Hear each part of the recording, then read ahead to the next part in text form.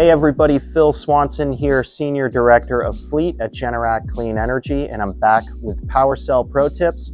Today's topic is troubleshooting a PVRSS lockout error on a PV-Link in the field. PVRSS stands for Photovoltaic Rapid Shutdown System. Rapid shutdown requirements were first introduced in 2014 NEC, requiring the conductors leaving the array to become de-energized upon activation of the PVRSS. 2017 NEC introduced module level rapid shutdown, requiring conductors within the array to be reduced to 80 volts or less within 30 seconds of activation. The intent of rapid shutdown, of course, is to make the system safe from electrical hazards for first responders like firefighters who may need to access the roof, attic, or other parts of the home to fight a fire. Together, the PV-Link substring optimizer and the SnapRS inline switch compose the two major components of the PVRSS for PWRcell. In 2022, Generac introduced new PV-Link firmware, version 13700, to reinforce daily safety checks performed by the system. PVRSS lockout, or state code 7310, was a new state introduced in that firmware version.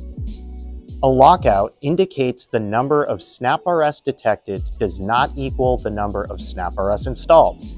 The SnapRS installed set point must represent the physical number of SnapRS devices installed for each substring. There must be one SnapRS installed on the negative lead of every PV module. PV-Links count their SnapRS each morning as an important safety check to ensure the PV rapid shutdown equipment is functioning properly. If a PV-Link cannot match the number of SnapRS it detects with the number of SnapRS installed, the PV-Link will lock out and prevent power from flowing. Reference Service Information Bulletin 2202CE PVRSS lockout error state 7310 in your GenService dealer portal.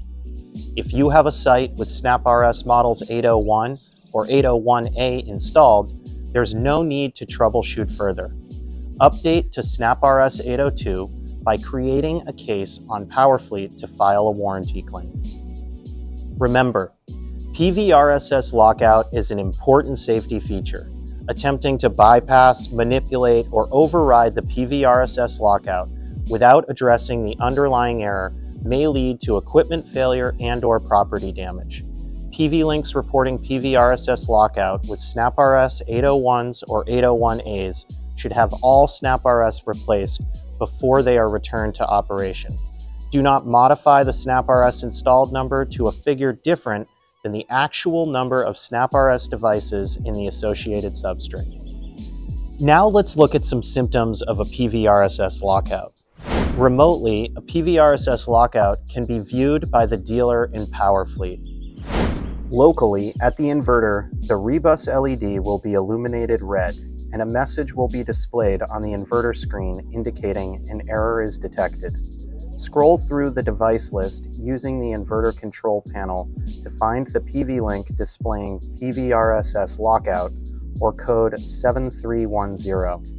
The PV-Link will not make power in this state, so the system owner may also notice lack of production via their PWRview mobile app.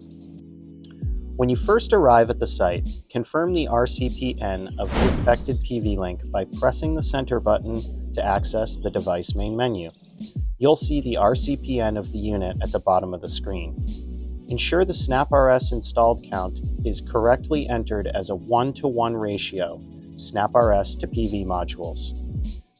If you need to change the count, you can do so using the installer tool.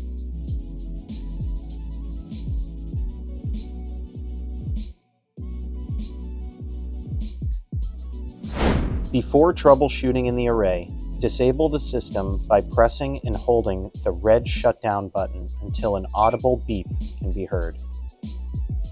Verify absence of DC voltage on the REbus terminals.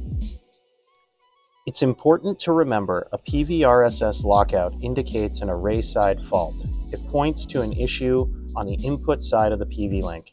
It does not indicate an issue with the REbus home run wiring on the output side of the PV link.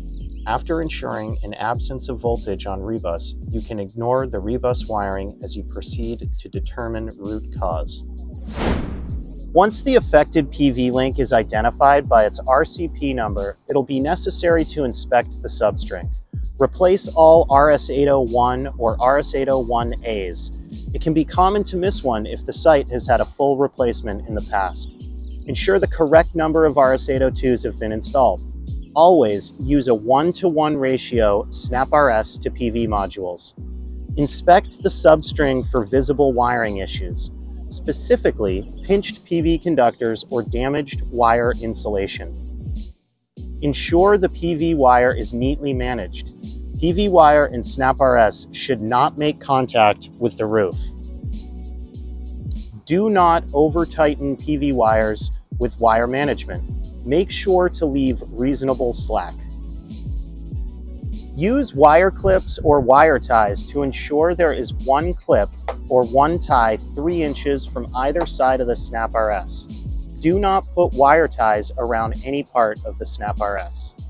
Verify the integrity of field-made MC4 crimps and ensure only Staubli MC4 connectors have been used to mate with Generac equipment. Finally, inspect for any physical damage to the Snap RS. If you have clearly resolved the issue, navigate to the Installer Configuration tool and clear the error.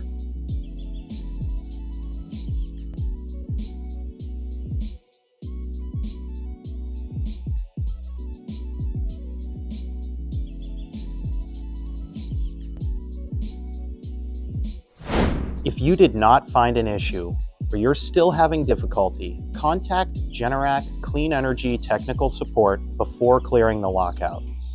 As always, thanks for watching and we'll see you next time on PWRcell Pro Tips.